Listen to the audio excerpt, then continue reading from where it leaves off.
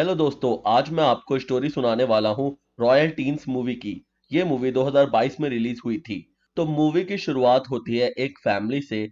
इस फैमिली में मदर अपनी बेटी को बता रही होती हैं कि आज तुम नए स्कूल जा रही हो और तुम्हारी क्लास में कुछ रॉयल फैमिली के बच्चे भी पढ़ते हैं। और अगर तुम उनसे बात करो तो तुम उन्हें पूरी इज़्ज़त दे के बात करना। ये रॉयल फैमिली की वजह से ही हमारा कंट्री चलता है और तुम्हें अगर उनके साथ दोस्ती करनी है तो तुम उनके साथ बहुत ही ढंग से और इज़्ज़त के साथ पेश आना। जो बेटी होती है, वो अपनी बाकी बात सुनती तो है, लेकिन उस बात से काफ़ी ज़्यादा एग्री नहीं करती और वो उनको फ़ोटो दिखाती है और बताती है कि रॉयल फैमिली के बच्चे भी हमारी तरह ही होते हैं, वो भी पार्टी करते हैं और वो भी अपनी ज़िंदगी को पूरा एंजॉय करते हैं। और इसके बाद वो स्कूल चली जाती है। स्कूल पहुँचने के बाद वो अपनी क्लास पहुँच जाती है और वहाँ पे सब उसे एक न्यूली गर्ल की तरह ट्रीट करते हैं। तभी वो देखती है कि रॉयल फैमिली के जो बच्चे होते हैं, वो उसकी तरफ़ आ रहे होते हैं और काले, जो कि रॉयल फैमिली से बिलोंग करता है, वो उसके पास आके बैठ जाता है। काले उसे अपना नाम बताता है और वो उस लड़की से भी उसका नाम पूछता है। वो लड़की उसे अपना नाम लाना बताती है। वो उसका नाम गलत प्रोनाउंस करता है और वो लड़की उसे करेक्ट प्रोनाउंसिएशन बताती है अपने नाम का। इसके बाद वो उसका करेक्ट नेम लेने की कोशिश करता है, लेकिन वो फिर से उसका नाम गलत ही प्रोनाउंस करता है। और इसके बाद टीचर उसे बाकी बच्चों के साथ भी इंट्रोड्यूस कराते हैं और सारे बाकी बच्चे उसे हाय बोलते हैं। तब टीचर भी उसका नाम गलत प्रोनाउंस करते हैं और इसके बाद काले ही उसका नाम सही प्रोनाउंस करते हैं। ये देख के लाना काफ़ी खुश होती है कि फाइनली काले उसका सही नाम प्रोनाउंस कर पा रहा है। स्कूल खत्म होने के बाद लाना घर पहुँचती है और वो अपने पेरेंट्स को बताती है कि आज उसने रॉयल फैमिली के बच्चों से भी बात करी और काले ने उसका नाम भी उससे पूछा। इसके बाद लाना अपने पेरेंट्स को बताती है कि वो वर्कआउट करने के लिए जा रही है और उसके पेरेंट्स उससे कहते हैं कि तुम थियोडोर, जो कि एक छोटा बच्चा होता है, उसे भी अपने साथ ले जाओ। लाना थियोदोर को प्राइम में डालती है और इसके बाद वो दौड़ना शुरू कर देती है। जब वो दौड़ना शुरू करती है, तब उसको पुरानी बातें याद आने लगती है और इसकी वजह से वो काफ़ी डर जाती है और वो एक अनजान रास्ते की तरफ़ भी बढ़ जाती है। लाना फिर से दौड़ना शुरू करती है, लेकिन फिर से उसे अपने पुराने स्कूल की बातें याद आने लगती हैं और वो और ज़्यादा डरने लगती है। तभी उसके सामने काले आ जाता है काले उससे पूछता है कि क्या तुम भी एडवेंचर स्पोर्ट्स ट्राई करने के लिए आई हो? लाना उसे बताती है कि वो यहाँ पे जॉब करने आई है और वो रास्ता भटक गई है और वो बताती है उसे कहाँ पे जाना है। काले उसे सही रास्ता बताता है और उसके बाद वो पूछता है, क्या ये थियोदोर तुम्हारा बेटा है? इसके बाद वो बताती है कि नहीं, ये उसका छोटा भाई है। काले, जिसने शर्ट नहीं पहन रखी होती, उसकी बॉडी पे एक कीड़ा चिपक जाता है और उसे लाना हटा देती है और इसके बाद काले उसके साथ एक फ़ोटो क्लिक करता है। अगले दिन जब लाना स्कूल पहुँचती है, तब वो फ़ोटो काफ़ी वायरल हो जाती है और इसके बाद काफ़ी सारी लड़कियाँ उससे पूछती हैं कि तुम काले को कैसे जानती हो और ये फ़ोटो तुमने कब खींची? लाना सब कुछ सही सही बता देती है और तभी इसके बाद कुछ लड़कियाँ आती हैं और वो उससे कहती है कि मागरीटा तुमसे मिलना चाहती है। मागरीटा काले की बहन होती है और इस वजह से वो भी रॉयल फैमिली को बिलोंग करती है। मागरीटा लाना से काला से दूर रहने के लिए कहती है और इसके बाद वो उसे और भी बातें सुनाती है इसके बाद लाना की मुलाकात एक टेस्ट नाम की लड़की से होती है। टेस्ट एक्चुअल में इंस्टाग्राम इन्फ्लुएंसर होती है और उसके ब्लॉग भी होते हैं और वो खुद की अर्निंग भी करती है। टेस और मागरीटा की बिल्कुल नहीं बनती और टेस बताती है कि मागरीटा कोई अच्छी लड़की नहीं है। उसे अपने रॉयल होने पे बहुत ज़्यादा घमंड है और इसी वजह से टेस और मागरीटा की नहीं बनती। शाम को लाना जब अपने घर पहुँचती है, तब उसके घर पे काले भी पहुँच जाता है और काले उससे कहता है कि मैं तुम्हें पूल पार्टी के लिए लेने आया हूँ। ये सुन के लाना उसे मना कर देती है। वो कहती है कि मैं पूल पार्टी के लिए तैयार नहीं हूँ। तो कहता है, कोई नहीं, हम तुम्हारे छोटे भाई थियोदोर के साथ भी टाइम व्यतीत कर सकते हैं। इसके बाद लाना के पेरेंट्स लाना को पूल पार्टी के लिए जाने के लिए कह देते हैं। काले लाना को छोड़कर बाकी फ्रेंड से मिलने चला जाता है और लाना भी ड्रिंक और कुछ खाने का लेके बाकी दोस्तों से मिलने लगती है। वहाँ पे वो टेस्ट से मिलती है और टेस्ट बताती है कि वो पार्टी से जा रही है, वरना मागरीटा और उसके बीच में लड़ाई हो जाएगी। लाना मागरीटा से बात करने लगती है। मागरीटा उसकी ड्रेस और उस फ़ोटो वायरल के बारे में पूछती है, जो कि काले ने लाना के साथ खींची होती है। इसके बारे में बताती है कि वो फ़ोटो उसने नहीं वायरल करी तो वो कहती है कि हो सकता है कि ये फ़ोटो टेस ने वायरल करी हो। मार्गरीटा की दोस्त उसे क्लास के सोशल मीडिया अकाउंट्स पर कनेक्ट करने के लिए कहती है, लेकिन लाना कहती है कि वो इन सब चीज़ों को नहीं चलाती और वो अपना स्क्रीन टाइम कम कर रही है, इसलिए उसने सारे सोशल मीडिया अकाउंट्स को डीएक्टिवेट कर दिया।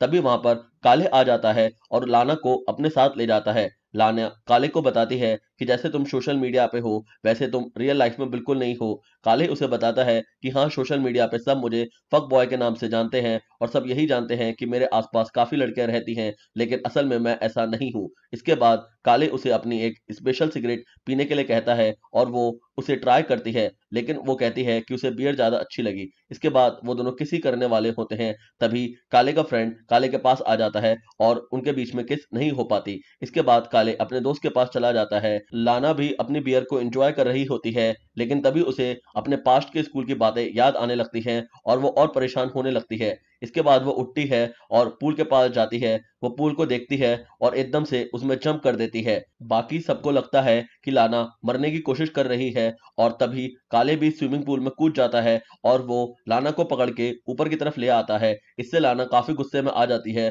और वो कहती है कि तुम लोगों को पता ही नहीं कि पार्टी कैसे करते हैं, यहाँ पे पूल है अच्छा खाना है और तब भी तुम बातों में लगे हुए हो, कोई भी जना स्विम नहीं कर रहा, मैं तो बस स्विम कर रही थी, पता नहीं तुमने क्यों ऊपर मुझे खींच लिया। इसके बाद लाना वहाँ से चली जाती है।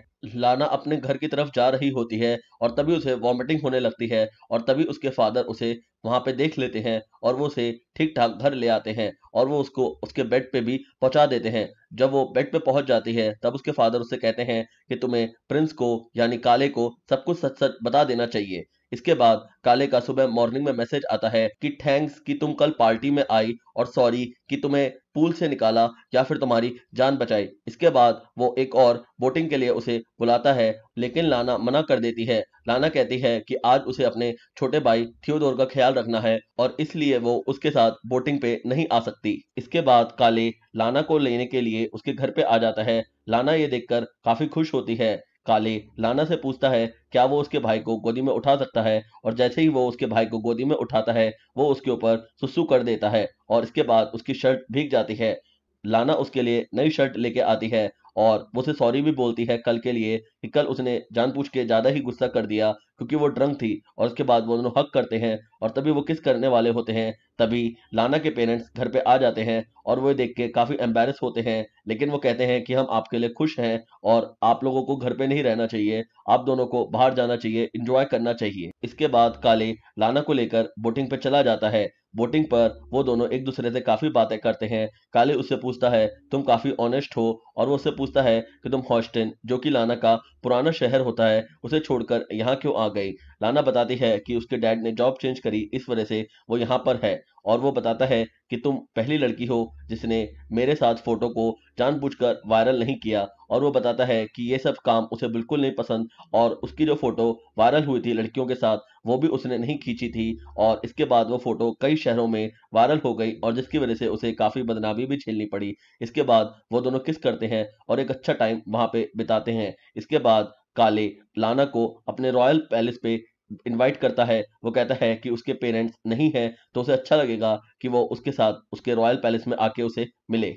अगले दिन लाना रॉयल पैलेस पहुँचती है और वहाँ पे वो देखती है कि पूरी फैमिली आ चुकी है, जो एक्चुअल में प्रिंस हैं, वो भी आ चुके हैं। लाना काली से पूछती है, तुमने तो कहा था कि घर पे कोई नहीं होगा, लेकिन यहाँ पे तो सब लोग प्रेजेंट हैं। इसके बाद काली कहता है कि एकदम से प्लान चेंज हो गया, लेकिन उसे डरने की कोई ज़रूरत नहीं है। उसने पहले ही फैमिली को बता दिया था कि तुम मेरी दोस्त आने वाली हो तो सब लोग नॉर्मल है और तुम भी नॉर्मल ही बिहेव करो। इसके बाद प्रिंस की पूरी फैमिली बैठकर लाना के साथ लंच करती है और वो लोग बहुत प्यार से सब लंच करते हैं। लेकिन मार्गरीटा लाना से इस बात के लिए खुश नहीं होती कि वो इतनी जल्दी उनके घर पे आ गई और अभी तो इनकी दोस्ती बिल्कुल शुरुआत ही हुई है। इसके बाद वहाँ पे प्रिंसेस भी आ जाती हैं, जो कि काले की मदर होती हैं। उनको थोड़ी तबीयत खराब होती है और इसकी वजह से वो थोड़ा देर बात करके वहाँ से चली जाती हैं। लाना अपने घर पे पहुँचती है और अपने पेरेंट्स को बताती है कि वो पूरी रॉयल फैमिली से मिले। ये सुन के उसके पेरेंट्स काफ़ी ज़्यादा सरप्राइज़ होते हैं।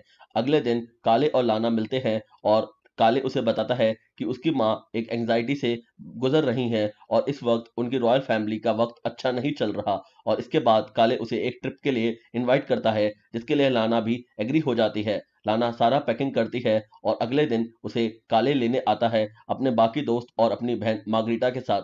मार्गरीटा लाना के पेरेंट्स से मिलती है और वो बताती है कि लाना के दोस्त मतलब मेरे भी दोस्त और हमें खुशी है कि लाना उनके साथ ट्रिप पे आ रही है। इसके बाद सब लोग गाड़ी में बैठ जाते हैं और अब उनकी गाड़ी हॉस्टन के एक पेट्रोल पंप पे रुकती है फ्यूल डलवाने के लिए।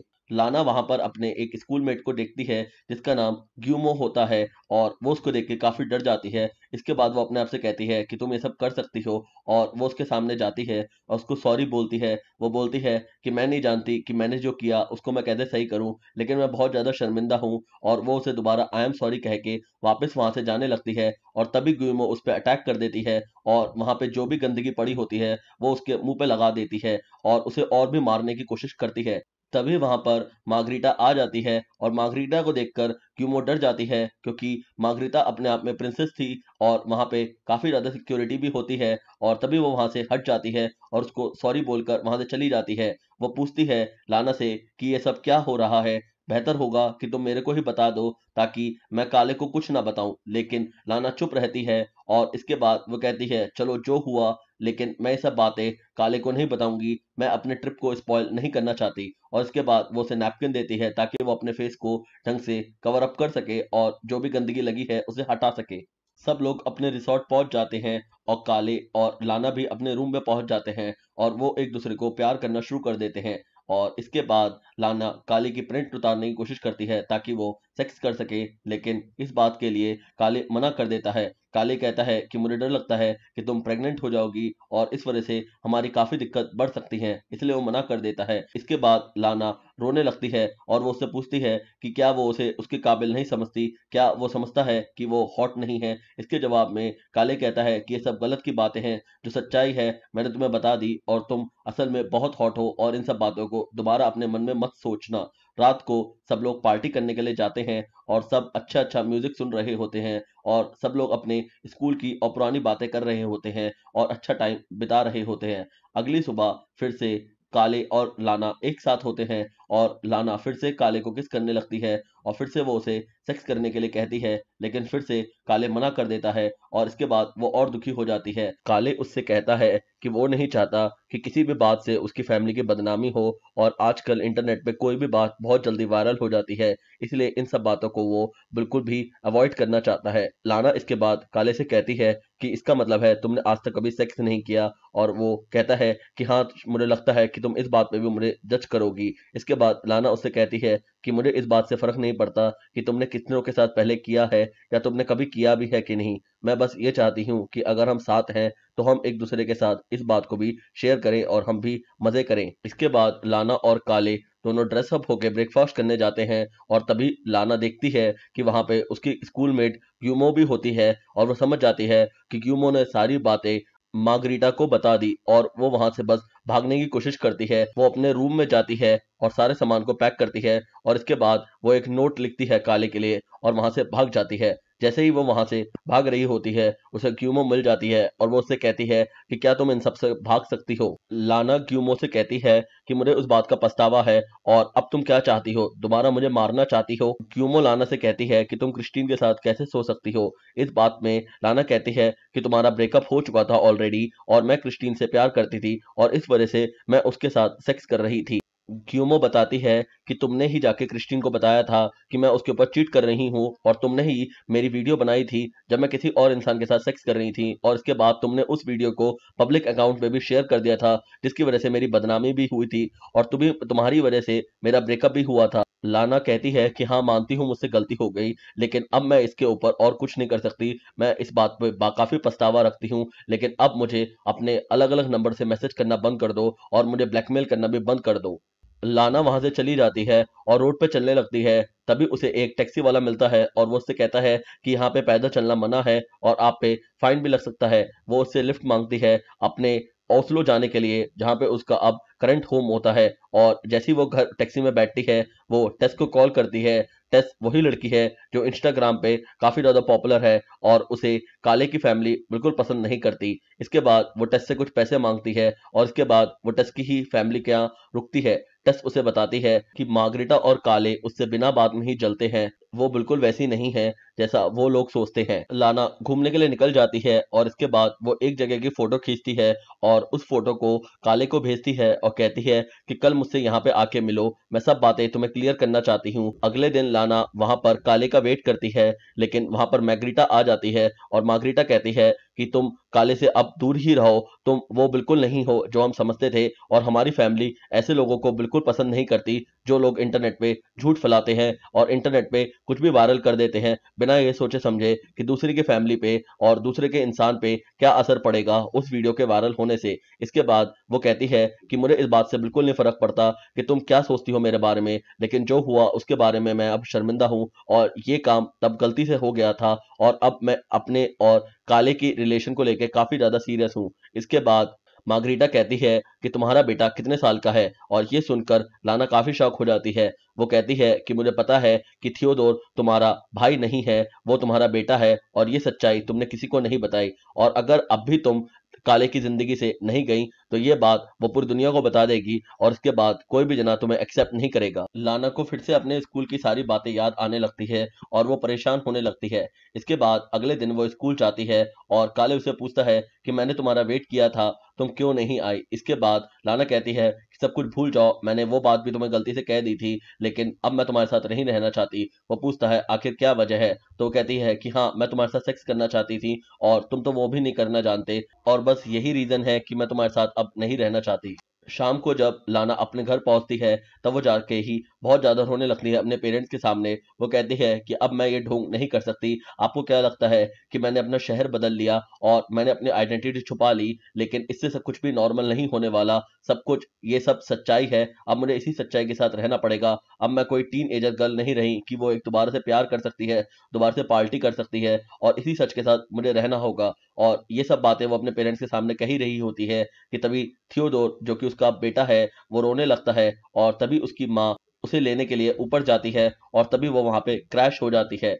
लाना अपनी मदर को हॉस्पिटल में एडमिट कराती हैं और इसके बाद लाना एक वीडियो भी बनाती है जहाँ पे वो थियोडोर को इंट्रोड्यूस कराती है और कहती है कि मुझसे गलती हो गई, मुझे थियोडोर को पहले इंट्रोड्यूस करा देना चाहिए था, लेकिन तब मैं इस बात में शर्म महसूस करती थी, लेकिन अब मुझे कोई भी शर्म नहीं है और मुझसे ये गलती हो गई, इस बात को मैं एक्सेप्ट करती हूँ और आगे से मैं कोई भी बात नहीं छुपाना चाहती। अगले दिन सब कुछ नॉर्मल हो जाता है और वो कहती है कि अब मुझे किसी भी बात पे कोई गुस्सा नहीं है, मैं अपनी ज़िंदगी और अपनी पढ़ाई कंप्लीट करूँगी और अच्छे से अपनी ज़िंदगी जीने की कोशिश करूँगी। तभी उसके फ़ोन पे काफ़ी सारे मैसेज आने लगते हैं। लाना कहती है कि आज प्रॉम नाइट है और उसी की वजह से ये सारे मैसेज आ रहे होंगे। तभी उसके घर पे टेस आ जाती है और वो कहती है कि मैं तुम्हें प्रॉम नाइट के लिए लेने के लिए आई हूँ और वो कहती है कि मैं प्रॉम नाइट के लिए नहीं जा सकती। पहला तो मेरे पास कोई अच्छी ड्रेस नहीं है और मैं नहीं चाहती कि अब लोग मेरे ऊपर रिएक्ट करें। तो वो कहती है कि कोई चिंता मत करो कि कोई भी तुम्हारे पास कोई भी ड्रेस हो, मैं उसको अच्छा से रिक्रिएट कर दूँगी और तुम्हें अच्छा लगेगा अगर तुम प्रॉम नाइट पे आओगी और जितना तुम समझती हो, दुनिया तुम्हें उतना हेट नहीं करती। सब इस बात को मिलके काफ़ी खुश होंगे। टेस और लाना प्रॉम नाइट के लिए जाते हैं और वहाँ पर जाके लाना को सब लोग बहुत अच्छे से ग्रीट करते हैं और वो सब लोग कहते हैं कि हम भी थियोडोर से मिलना चाहेंगे। इसके बाद वहाँ पर सब लोग सेटल डाउन हो जाते हैं और मार्गरीटा लाना से कहती है कि भले ही तुमने अपने बच्चे के बारे में पूरी दुनिया को खुद ही बता दिया हो, लेकिन मैं अब भी कहूँगी कि तुम काले से दूर ही रहो। इसके बाद काले आता है और वहाँ पे गाना गाने लगता है और ये देखकर सब लोग बहुत खुश होते हैं कि एक प्रिंस बहुत ही नॉर्मली सबके सामने बिहेव कर रहा होता है। इसके बाद काले लाना के पास आता है और वो कहता है तो थियोदोर तुम्हारा बेटा है? और वो उससे पूछता है, कोई और तो सीक्रेट नहीं है? और इसके बाद लाना भी कहती है आई एम सॉरी इस बात को छुपाने के लिए और वो दोनों किस करते हैं? ये देखकर सब लोग बहुत खुश होते हैं, लेकिन मार्गरीटा रोने लगती है और वो काफ़ी ज़्यादा परेशान होती है। इसी के साथ ये मूवी खत्म होती है। मैं उम्मीद करता हूँ कि आपको ये स्टोरी अच्छी लगी होगी। अगर आपको ये स्टोरी अच्छी लगी है तो प्लीज़ इस वीडियो को लाइक कीजिए और मेरे चैनल को सब्सक्राइब कीजिए।